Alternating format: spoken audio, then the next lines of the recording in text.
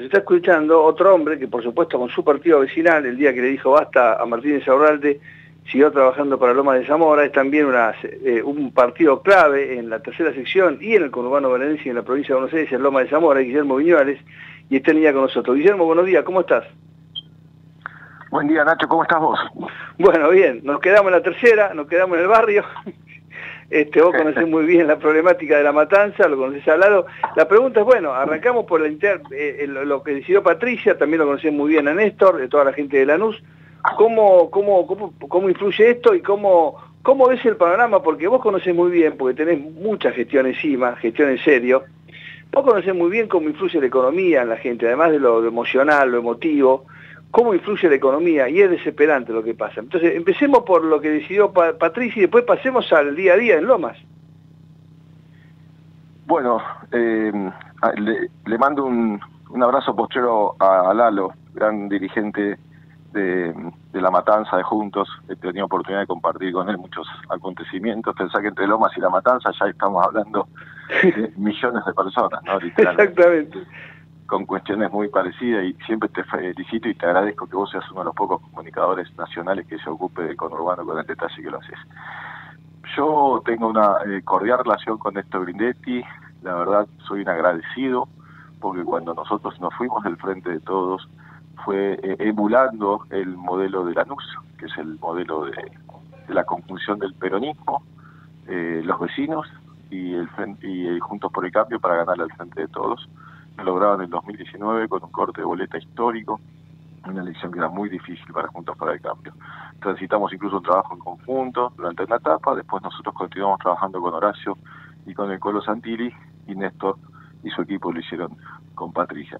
Creo que es un, buen candidato, que va a una interna muy interesante, muy importante, recién en otra radio los escuchaba a él y a Diego Santilli juntos, creo que es un gran mensaje a los votantes, de nuestra fuerza política y en general, de que nosotros podemos llevar adelante unas pasos eh, sin necesidad de destrozarnos ni de despellegarnos, pero tampoco estamos atentos a que salga nuestra jefa en un programa de televisión a ver que nos diga qué tenemos que hacer. Somos ciudadanos, somos vecinos, tomamos decisiones. Lo podemos hacer con respeto, lo podemos hacer con cordialidad, con propuestas, con ideas, con estilos, y esa es la fortaleza de Juntos, al igual que su diversidad. Así que lo felicito a, a Grindetti y, que sean los pasos eh, que la Argentina se necesita y que la provincia de Buenos Aires se debe. Los pasos que sean la, la base para el cambio importante y trascendental y espero definitivo que necesita este lugar donde vivimos. Eh, además, como lo decías, eh, vos en la gestión ya has trabajado el consumo con, con NUS en el primer mandato, o sea que estás hablando con, con hechos, no relatos. Ya han trabajado, inclusive hay, temas que lo buscan buscan solución juntos, como es el tema de residuos entre Lomas y Lanús. Bueno, después Martín agarró para otro lado y Lomas no sabe quién es el intendente, pero eh, yo puedo hacer fe que vos trabajás, sabés trabajar en, equipo con los intendentes que, que quieren sacar a la gente de esta situación de, postergación, de pobreza, y justamente hablando de eso, el día a día, ¿no? La economía, para mí se define todo ahí, es decir, eh, vamos a llegar al 23 de junio con los nombres, eh, pero el día a día es desesperante, digamos, lo que pasa con los precios, vemos que el equipo económico ya en una semana un par de paquetes, ya no uno, y hay mucho, ayer ya hace, eh, digamos, mandó un mensaje para adentro del frente de todos. ¿Cómo está el día a día de, de la gente de Lomas, este, Guillermo? Mira, yo en los momentos estoy yendo a una reunión de vecinos al aire libre en la Plaza de Santa Marta, en el corazón de Cuartel Noveno, en la, ciudad de Santa Marta, una ciudad de laburantes, una ciudad históricamente eh, peronista. En otro momento no habíamos podido ni ir y ahora nos reciben. ¿Quiénes nos reciben? Y los comerciantes nos reciben los, los laburantes, los jubilados, la gente que, que la está pasando muy mal y que está harta de que le quieran ir con un relato, con un verso y con una mentira, que los subestimen, que los obliguen, que los amenacen, que les digan que te voy a sacar esto, aquello, lo otro. Creo que la, economía está sintiéndose de un modo brutal, esa es la palabra, una, una implosión silenciosa, cotidiana, que vive cada vecino a la hora de querer comprar un alimento o querer comprar algo que pueda necesitar, ni te digo un remedio. Eh, así que mm, no hay relato que alcance, no hay programa de televisión que alcance, no hay movilización, no hay operativo, offer, este, proscripción, no hay más verso.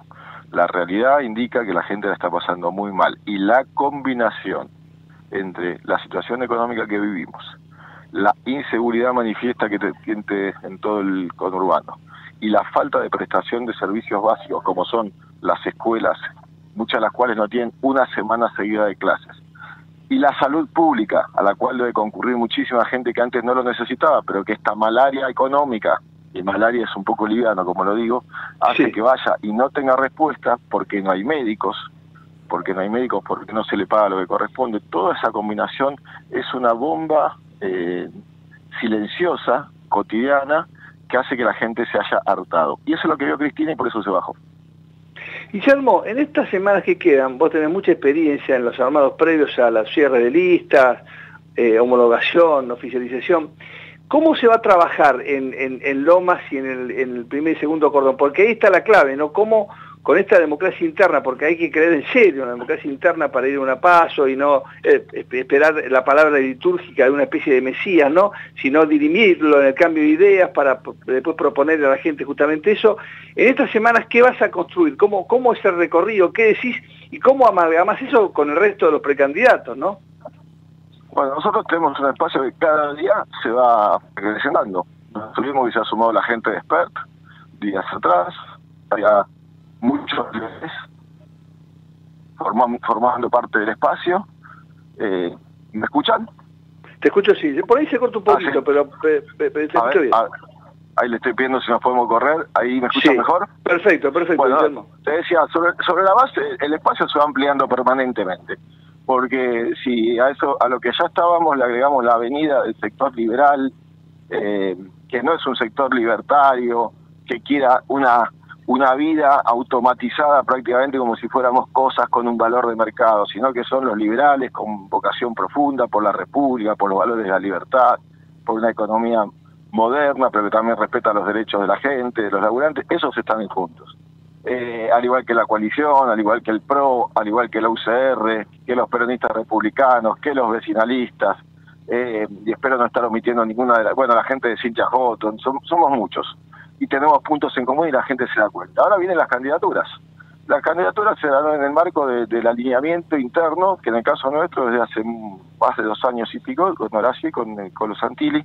En Lomas hay un sector que trabaja con Patricia y con, y con eh, en este caso Néstor Grindetti. Todavía no han anunciado un candidato formal. Nosotros estamos en diálogo permanente, en especial con el radicalismo, que es una fuerza política importante acá en Lomas de Zamora terminando, hoy mismo por la tarde tenemos jornadas extensas para terminar de, definir y compatibilizar ideas del plan de gobierno que le vamos a ofrecer a los lomenses. Hemos trabajado en estos últimos días mucho con los equipos de la Rete y de Santiri, eh, equipos provinciales, nacionales.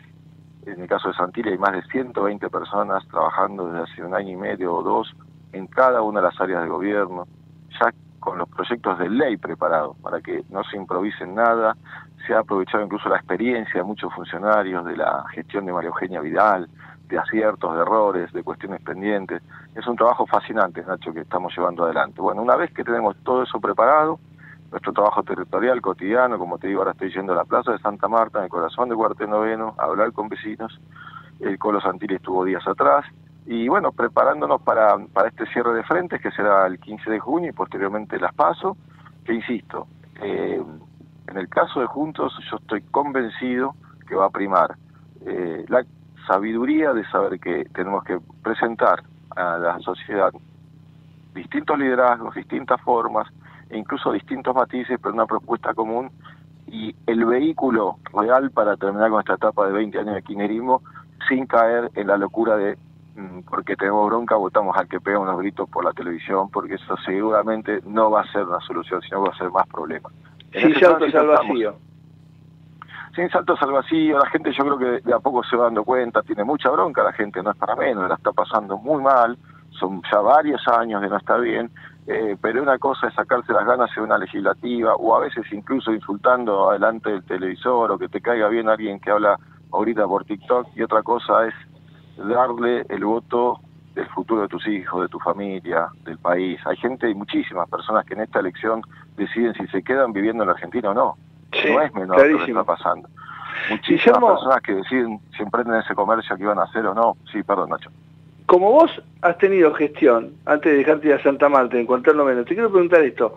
has tenido gestión, fuiste jefe de gabinete y toda una vida de trabajo en, Lomas. Entonces sabés de qué, de qué hablas. Te eligen en Lomas como intendente. Las primeras tres medidas que mandás a la legislatura. El plan de seguridad integral completo, con el doble de presupuesto, con un nuevo equipo, con, el liderazgo político mío como intendente, todo el plan con todas las eh, ordenanzas, los elementos que necesito, la estrategia, etcétera, etcétera, etcétera la segunda, una reconversión del presupuesto de salud para dejar de pagar plata en en promotores de los movimientos sociales que reparten volantitos y traslado toda esa plata a los médicos, a los pediatras, a los traumatólogos, a los médicos generalistas, porque los necesitamos en la salud primaria. Y la tercera, eh, un plan educativo donde además de poner en condiciones edilicias básicas, yo no digo que voy a hacer de cada escuela de Lomas en dos, tres años una escuela europea, pero sí que no va a dejar de haber clases porque falte agua, luz y gas, después de haber hecho obviamente toda la ponderación previa específica, ese programa más los programas de trabajo y si si pudiera, lo que pasa no sé si los números de la inflación nos van a permitir, una primer señal al comercio con toda la simplificación, gratuitas, y si pudiéramos bajar algunas tasas y mirarlas con un mensaje de que va por ahí. Educación, salud, trabajo y seguridad, ahí está el 80% de nuestra propuesta. Clarísimo, repito, como tenés gestión, sabés de qué hablas. Yo creo que lo que pase de aquí a junio, julio, agosto, eh, como decía, eh, tengo una figura últimamente, que yo te presento un contrato ahora garantizado, que podés litigar un contencioso en Nueva York, de que el 10 de diciembre Argentina como, peor situación va a estar como hoy, firmás automáticamente. Para mí vamos a estar mucho peor, con lo cual yo creo que lo que pase en las próximas semanas y meses va a ser de tal profundidad de dramatismo que yo creo que la gente va, eh, va a evitar los saltos y va a, ver quién le garantiza gestión, porque para mí salimos con gestión de este despelote. Eh, con gestión, con un plan, con, con, un equipo importante y aparte en esto sí como plantea permanentemente Horacio, que los cambios sean sustentables. Claro. No puede haber nuevamente una votación dramática de piedrazos para ganar por un voto y que venga el siguiente gobierno y te la derribe. Nosotros necesitamos establecer las bases de los próximos 30 años en la Argentina, aunque puede parecer un poco exagerado, es lo que tenemos que hacer. Entonces tiene que tener sustentabilidad política, sostenibilidad, que lo que se la decisión que se tome una decisión que se mantenga. Y yo creo que eh, eso solamente lo puede hacer un equipo muy preparado, como decís, con mucha experiencia de gestión y con mucha capacidad también de hacerlo realidad, porque si no podemos quedarnos en, otra nueva frustración y ya ahí sí creo que sería la definitiva. Guillermo, lo mejor para tu jornada en Cuartel Noveno, en Santa Marta, en Lomas. Eh, eh, buen fin de semana, este, que le vaya bien a Boquita, no sé con quién le toca. Fuerte abrazo a la familia, a toda la barra del grupo de trabajo y siempre a las órdenes.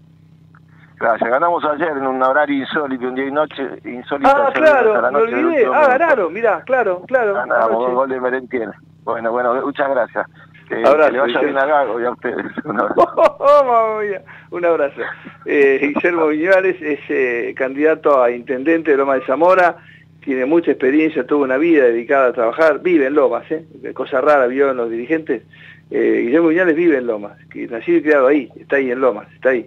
Fue jefe de gabinete y, pretende y tiene muy, muy, muy fundadas razones para ofrecerse como candidato a intendente de Lomas de Zamora y nosotros vamos a estar siempre en el camino eh, acompañándolo a él, un enorme equipo de trabajo allí en Lomas de Zamora, corazón eh, de la tercera sección electoral de las ocho en la provincia de Buenos Aires.